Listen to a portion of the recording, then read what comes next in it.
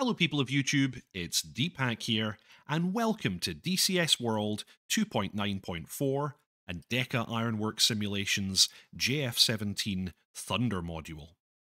Welcome to Addendum 2 HSD Lines.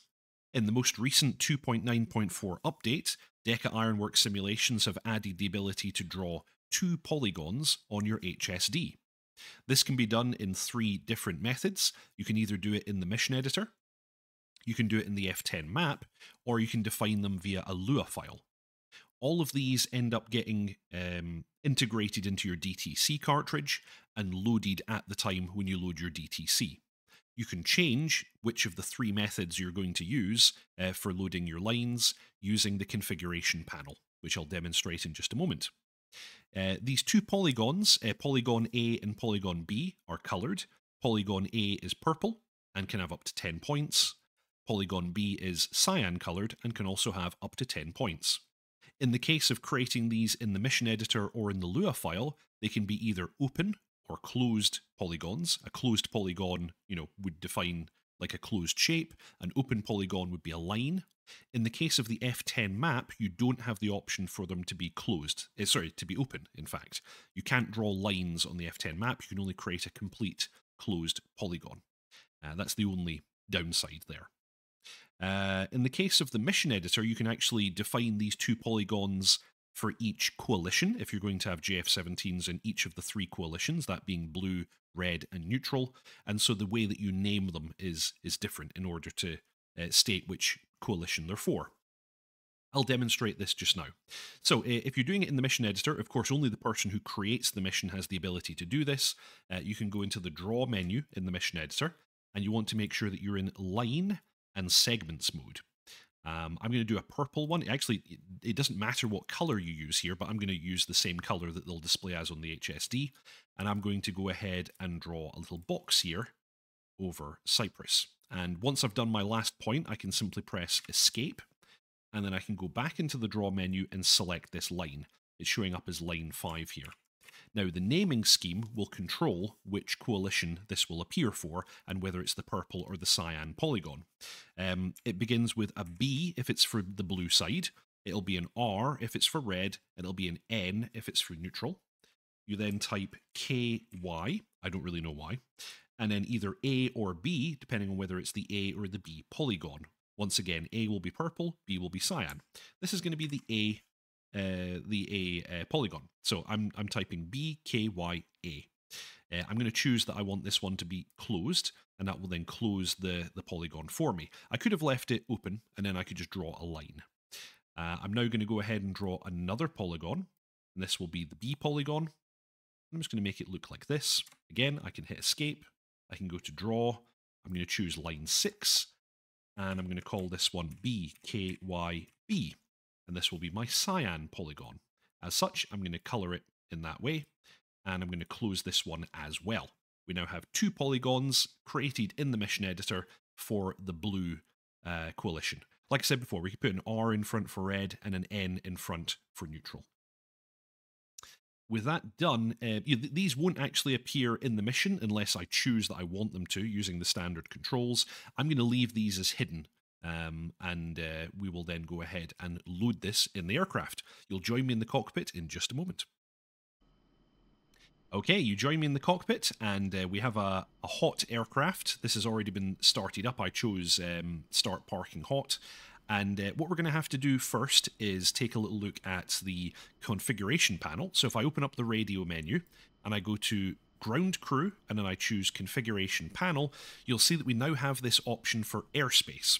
Um, so if I click on this just now, we have options for mission, F10 label, preset, which is the Lua file, or clean. Uh, in the clean configuration, it will never load these airspaces. I'm going to leave it in mission for just now, and we're going to go ahead and load the, the lines that were included in the mission.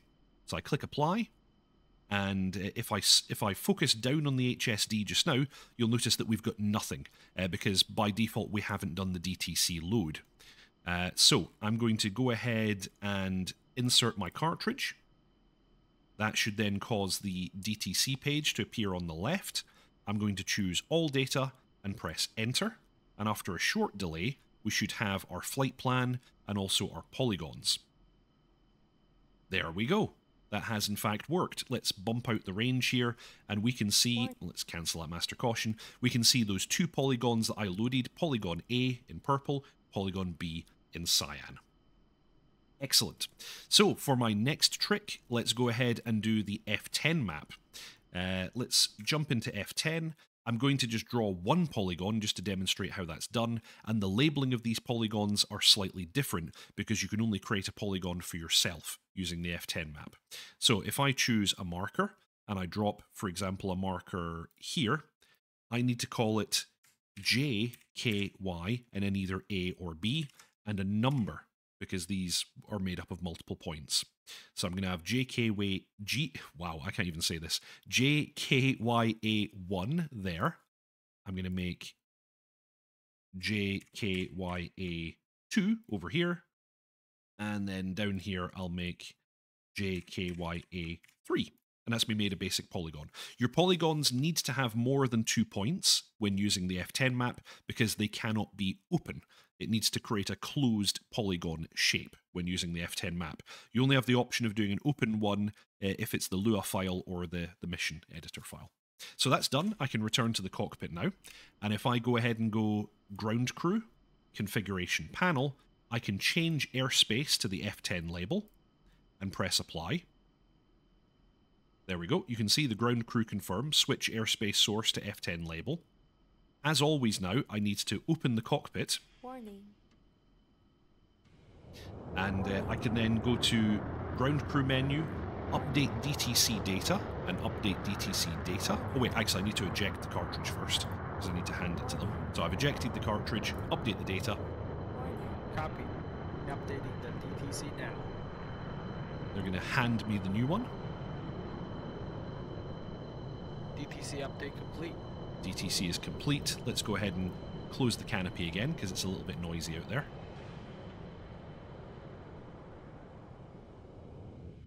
There we go. And we're all sealed up. Let's go ahead and insert that cartridge. It says DTC checking. We can choose all. You'll notice that it only selects the items that have changed or could have changed. We press enter and let's just watch the HSD. You'll see that my new polygon will load. There we go. We only had the one. We had the, the A polygon or the purple one. So that's worked nicely. Lastly, we can try it from the preset file. Now, I'm going to show you how to load it from the preset file first, and then I'll show you what the preset file looks like and where it's stored. So, ground crew, configuration panel, we're going to choose preset and apply. Switch air source uh, to preset. We're then going to open the canopy again Warning. We're going to eject this cartridge. Warning. We're going to tell the ground crew to update DTC. Warning. Copy. Updating the DTC now.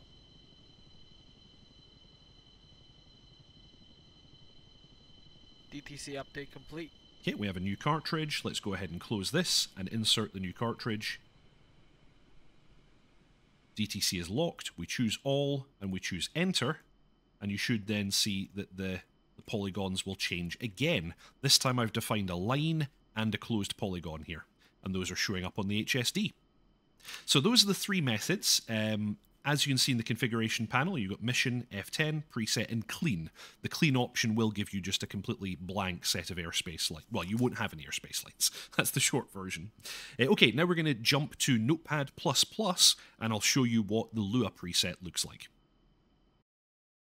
Okay, so hopefully this shows up okay on screen. Uh, I've got Notepad++ up. This is the, the Lua file that you need to edit. Note that there is an example given for you in... Um, it's in your DCS installation folder under Mods, Aircraft, JF17, and Doc. So it's in the standard Doc folder for the JF17.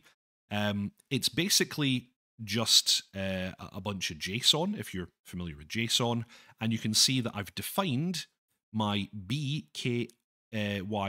So actually, in the Lua file, you also can do blue, red, and neutral uh, coalitions, just like you can do in the mission editor. I've defined one for the blue co coalition, polygon A. I've told it that it's not closed, it's false on closed, and then I give the points.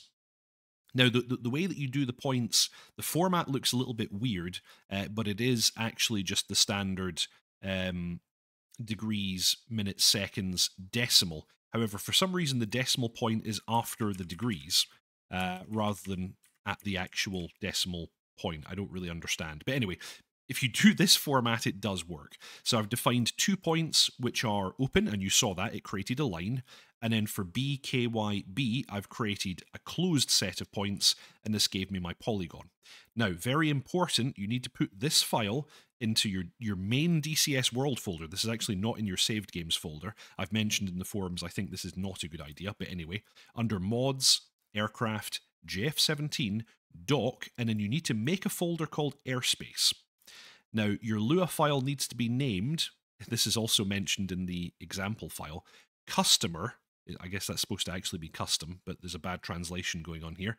Customer, all lower space, air with a capital A, space with a capital S, underscore, and in the name of the map that it's intended for. In my case, it's Syria with a capital S, dot Lua. So uh, I made customer airspace Syria dot Lua, and I put it into this folder, and as you saw, it worked. Uh, and you can have one of these files for each map. And um, as with the mission editor, you can define a blue, a red, and a neutral coalition set of airspaces. Hope that was useful. Thank you all for watching.